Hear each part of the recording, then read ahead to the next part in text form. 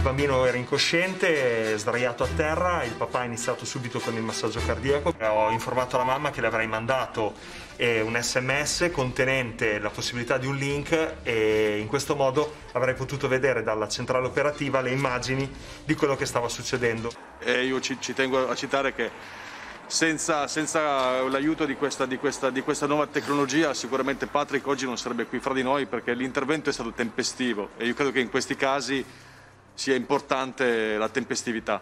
Perché dobbiamo spiegare, come abbiamo visto, voi avete usato un'applicazione che lui eh, vi ha inviato questo link e attraverso questo link con la telecamera lui vi ha guidati.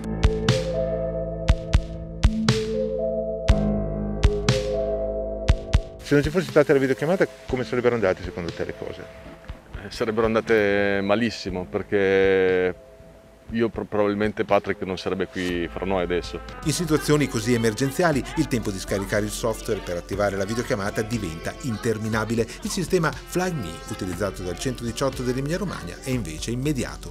Non è necessario scaricare nessuna app né prima né durante eh, la richiesta di soccorso. La videochiamata è attivata direttamente dall'operatore 118, un semplice sms. All'interno dell'sms troverete un link, cliccando sul link si avvia il browser e si attiva lo streaming video, tutto qui.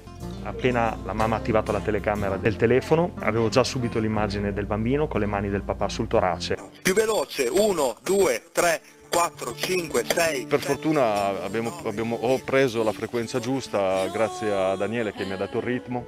È ovvio che il vedere e non essere presenti ovviamente, ma il vedere quello che succede pone una serie di correttivi importanti e pone comunque una serie di valutazioni che riusciamo a fare anche dalla centrale.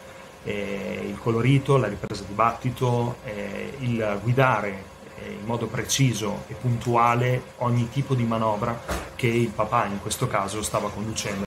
Eh, si pensa spesso che l'arrivo dell'ambulanza sia eh, il momento salvifico, ma in realtà esiste un momento che è l'intervallo libero della terapia, che è il momento in cui eh, ci si sgancia dalla chiamata e il mezzo parte e arriva sul posto. Durante questo lasso di tempo noi, insieme a chi dall'altra parte della, del telefono ci ascolta, eh, possiamo fare tante tante tante cose.